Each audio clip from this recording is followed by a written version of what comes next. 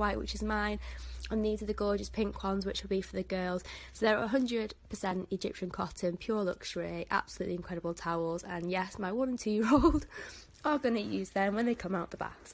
Um, so basically, I wanted to show you all the detail on the toweling. They are super soft. You could tell they're luxurious. They're really heavy, um, but they're not massively thick at the same time. And um, they've got all the detailing on here and all along here as well. It's really quite shiny. Absolutely gorgeous. So in a bundle, you get two of the flannel face cloths, two hand towels, two of your um, bath towels, and then you get a large towel as well, which I have laid out here to and attempt to show you the size of it. It's absolutely huge. They're definitely my favourite ones.